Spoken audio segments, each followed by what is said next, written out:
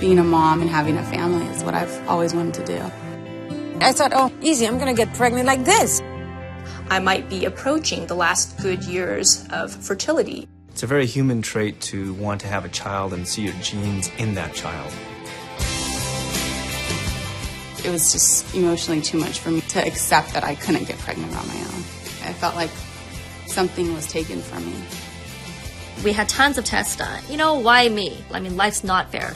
I wanted to have kids, and I knew that being in a relationship with a woman wasn't going to stop me. The doctor said, Your hormone level is so low, you're not going to get pregnant naturally anymore.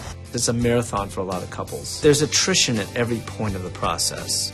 The odds were really in our favor because they couldn't find anything wrong with either of us at this point. We did one IVF, it didn't work.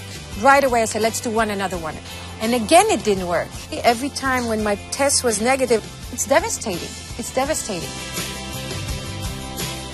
Women make a lot of decisions about their professional and personal goals in life based on a baby.